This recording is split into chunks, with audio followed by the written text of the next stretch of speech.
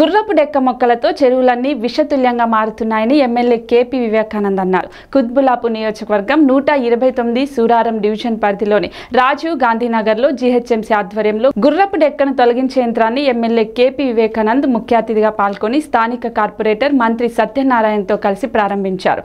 ఈ కార్యక్రమంలో additional commissioner Rahul Raj Ravinder TRS నాయకులు పుప్పాల భాస్కర్ మధుమోహన్ చౌడా శ్రీనివాసరావు తదితరులు పాల్గొన్నారు.